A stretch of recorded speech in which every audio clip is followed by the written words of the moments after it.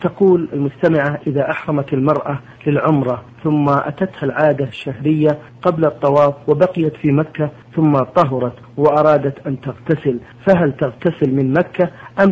أم تذهب لتغتسل من التنعيم؟ إذا أحرمت المرأة بالعمرة وأتاها الحيض نعم. أو أحرمت بالعمرة وهي حائض فعلا ثم طهرت فإنها تغتسل في مكان إقامتها في بيتها ثم تذهب وتطوف وتسعى